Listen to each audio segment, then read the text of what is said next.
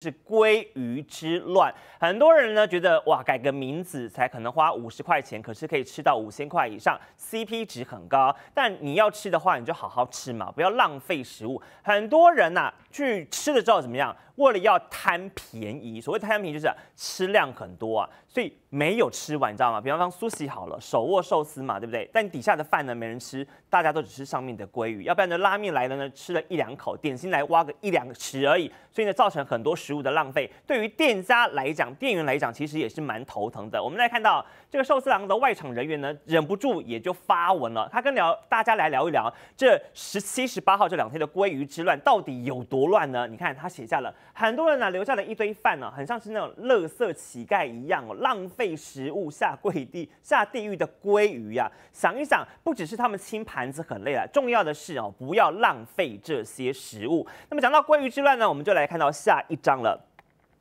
啊，真的是很乱啊！现在呢，十七、十八两天的优惠期过了嘛，对不对？鲑鱼先生、鲑鱼小姐们，现在可能努力要回归人类了哈，要把你的名字给改回来了。但是想改回来，好像也没有这么的顺利呀。因为呢，光是这个流程来讲，可能就要花上半天的时间了。但是半天你可以等嘛？对于户政事务所的工作人员来讲，以及真的有事要去户政事务所办事的人来讲，就是因为你他们要等好多好多的时间，真的是很浪费人力。像现在好了，不管呢你是叫做张鲑鱼之梦啊，或是什么宜兰之子、超粗大深海鲑鱼王等等乱七八糟的名字，好啦，现在呢你想要改回本名了。那改名的流程呢，大概是这样子的哦。你就要先到户政事务所报到，之后呢，他还要印制身份证嘛。印制身份证之外呢，你的户口名簿同时也要改名。改完名之后呢，还不止呢哦，户政单位呢要帮你通报二十几个政府机关，最后再印发你的新的身份证，让你回归你本人。哎，前前后后要花半个小时以上。现在全台湾基本上是有一千多个人哦，一千多个人因为归于改名了。你看这一千多个人。一个人都要花半个小时，这一千多个人是要花多少个小时啊？真的是很累人，而且真的是很不需要啊。所以对此呢，今天在立法会上面、国会上面呢，就有立法委员提出了，他说啊，以后我们在改名字的时候呢，是不是有所谓一个冷静期在？什么意思？也就是说呢，好，我要改名字，那你可能之后要隔十五天。或隔三个月，或隔半年之后，你可以再换一次名字，因为现在是没有这样的规定嘛，对不对？你看这些人就是为了这两天的免费鲑鱼吃，那吃完之后，我可能第三天就可以把名字改回来了，所以增加很多户政人员的工作负担。那么未来是不是所谓的冷静期就是这样子啊？你改完名字之后，给你半个月哦，给你。半年想一想，如果觉得哎 OK 的话，名字可以继续用；觉得不 OK 的话呢，你再改，不会增加工作的辛苦流量。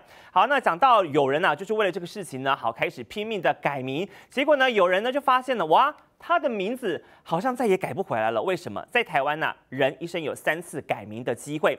那么真名就是中医学生啦，他叫做改名了，叫做张鲑鱼之梦。想说呢，哇，我吃到这个好康之后呢。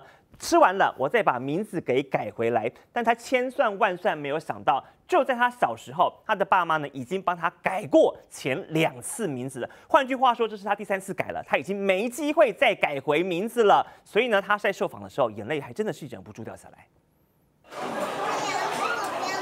回转寿司店寄出优惠，只要名字有鲑鱼，可以免费吃寿司，吸引全台三百三十一人封改名。都可以吗？好吃。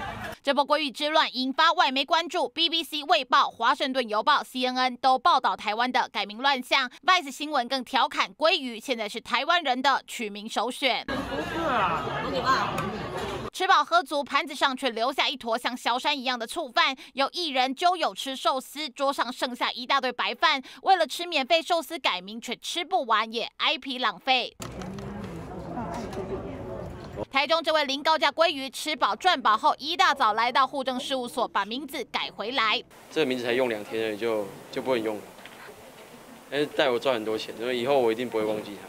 虽然零高价鲑鱼将永远留在户籍成本上，但至少名字改回来了，不像这位改了才后悔，是那个最后一次。